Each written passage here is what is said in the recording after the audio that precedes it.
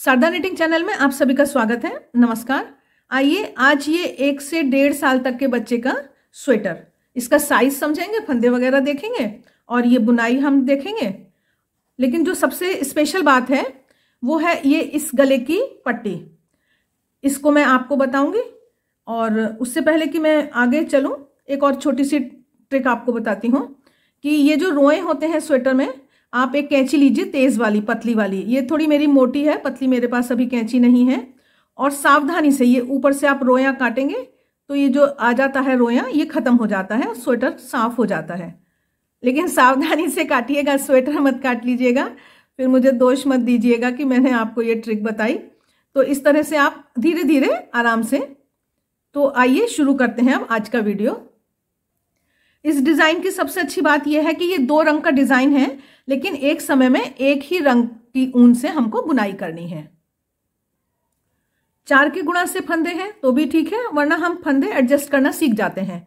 दो फंदे हमने बुने, ये हमने दूसरा रंग जोड़ा है, बी कलर, और दो को बिना बुने उतार लिया। दो को बुनना है और दो को बिना बुने उतारना है। इस तरह से हम ये पहली सिलाई अपनी बुन रहे हैं। चार के गुणा से हमारे हैं ये फंदे। आखिरी दो फंदे बिना बुने छोड़ दिए हैं, अब हम यहाँ से मुड़ गए। जो फंदे हमने बुने हैं, उनको ही सिर्फ़ उल्टा बुनना है, और जो नहीं बुने हैं, उनको फिर से बिना बुने स्लिप कराना है। दो फंदे उल्टे बुन रहे हैं, दो फंदों को स्लिप करा रहे हैं। ऊपर जाने से पहले अगर इससे हमें ऊपर बुनाई करनी है तो इसको हमें यहाँ ट्विस्ट करना है, और तीसरी सलाई डार्क कलर से पूरी सीधी बुन रहे हैं। सलाइयों को एडजस्ट करें। वो थोड़ा सा ढीले बुनाई आए तो बेहतर रहेगा। ये हमें ख्याल करना है। पूरी सीधी सलाई बुनी। अब चौथी सलाई फोर्थ रो पूरी उल्टी बुनी जाएगी। सारदा निटिंग चैनल को सब्सक्राइब करें और बहुत सुंदर, बहुत वैरायटी के वीडियो हैं। शॉल मफलर मोजा कैसे बनाएँ रिवर्सेबल निटिंग पैटर्न बहुत कुछ है। आप ज़रूर देखें और मित्रों के साथ शेयर करें। ये ऊन को साइड में लेते हुए ये वाली पूरी सलाई भी हमको सीधी बुननी है।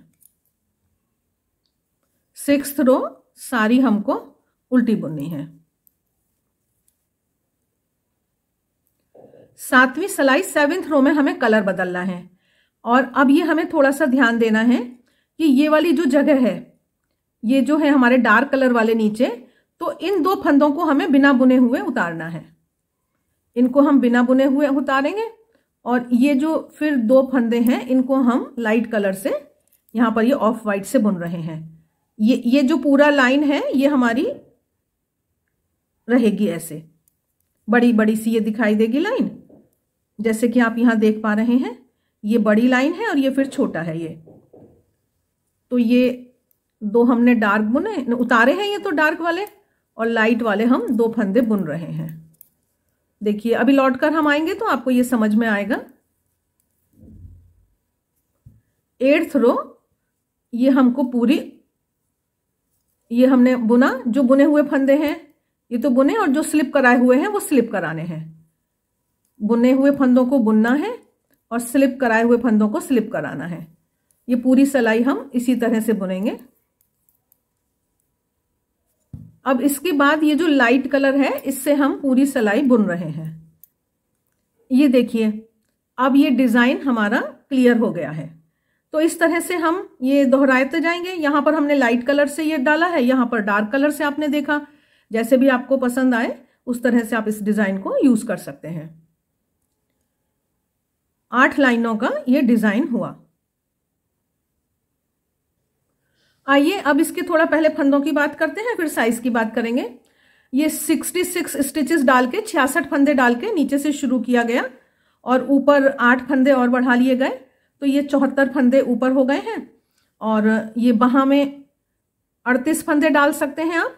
अगर टाइट बुनना है बॉर्डर तो चालीस फंदे डाल लीजिए और उसके बाद ये बढ़ाते बढ़ाते ऊपर जाके साठ फंदे के करीब हो गए हैं ये। इसकी लंबाई मैं आपको अभी बताऊँगी। मुड्ढे में पंद्रह सोलह फंदे आप रख सकते हैं। आइए अब इसके साइज़ की बात करते हैं। इसकी लंबाई लगभग तेरह इंच है। ये थर्टीन इंच इसकी लंबाई हो गई और ये जो चेस्ट आ रही है, ये बारह इंच आ रही है, चौबीस इंच के करीब ये हो गई। ये जो तीरा कहते हैं जिसको, ये लगभग दस इंच है ये। और ये जो वहाँ का मुड्ढा है ये ये लगभग साढ़े चार, पौने पाँच इंच है। ये आप घटाएँगे, थोड़ा देख लीजिए, थोड़ा सिलकर कम भी हो जाता है, इसको आप पाँच इंच पर ही घटाएँ। वहाँ की लंबाई साढ़े दस इंच के करीब आ रही है, दस, साढ़े दस इंच वहाँ की लंबाई है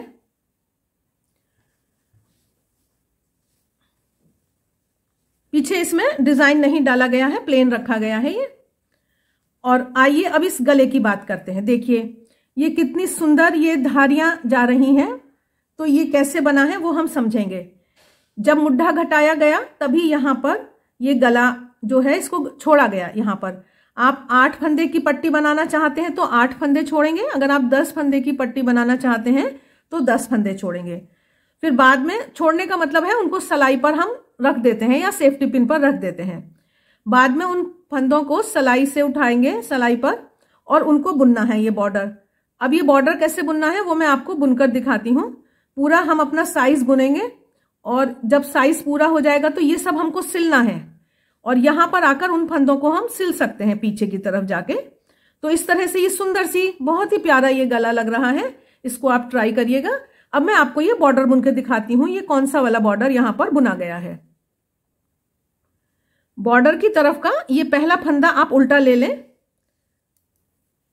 ये हम बुन रहे हैं। ये हमने पहला फंदा उल्टा बुना, दूसरा फंदा सीधा बुना।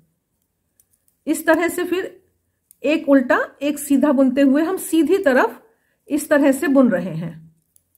जैसे कि हम आम बॉर्डर बुनते हैं, उसी तरह से ये हमने सीधी साइड बुनी। लेकिन उल्टी तरफ़ जो है उल्टी तरफ़ हम पूरा सारे फंदों को उल्टा बुनेंगे। बस इतना सा ये हमारा बॉर्डर बुनने का तरीका है। आप इस तरह से बॉर्डर बुनिए और देखिए, ये सुंदर सा बॉर्डर एकदम अच्छा है। इसको ट्राई करिएगा। आशा है आपको ये वीडियो अच्छा लगा होगा। शारदा निटिंग चैनल को सब्सक्राइब करना मत भूलिएगा। मित्रों के साथ शेयर करिए। आप सबके सहयोग का बहुत बहुत धन्यवाद।